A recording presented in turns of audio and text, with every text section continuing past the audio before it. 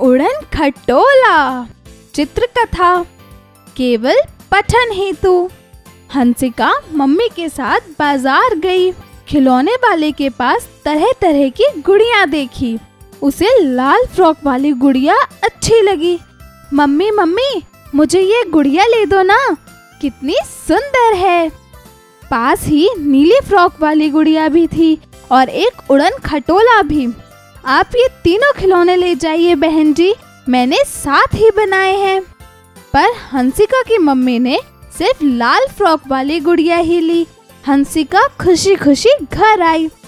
अगले दिन हंसिका ने देखा, गुड़िया कुछ उदास है। कल तक तो ये इतनी खुश थी। पर आज?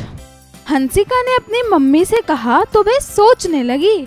शायद वह नीली फ्रॉक वाली गुड़िया इसकी सहेली थी। हमें तीनों खिलौने लेने चाहिए थे। तब यह ज़्यादा खुश रहती।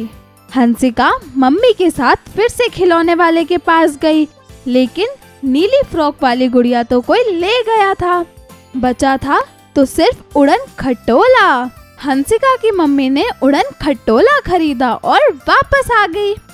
हंसिका ने घर आकर खुशी खुशी वह उड़न खटोला गुड़िया के पास रख दिया। फिर गुड़िया से मीठी मीठी बात करते ना जाने कब सो गई। पर सुबह हंसिका उठी तो हैरान रह गई। उसके खिलौनों की अलमारी में अब ना गुड़िया थी और ना उड़न खटोला। हंसिका दौड़ी दौड़ी मम्मी के पास गई। मम्मी मम्मी, गुड़िया तो गई, साथ में उड़न खटोला भी। आखिर कहाँ चली गई?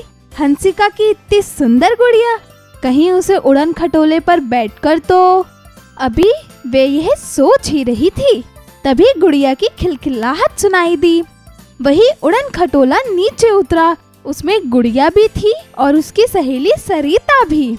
गुड़िया ने अपनी सहेली सरिता से हंसिका की मम्मी को मिलवाया। फिर हंसकर कहा, मैं उड़न खटोले पर बैठकर अपनी सहेली सरिता से मिलने गई थी। कुछ देर बाद सरिता ने सबसे विदा ली। उड़न खटोला उसे छोड़कर वापस आ गया। अब गुड़िया खुश थी। शिक्षा अपनों के साथ रहने से बड़ी और कोई खुशी नहीं है।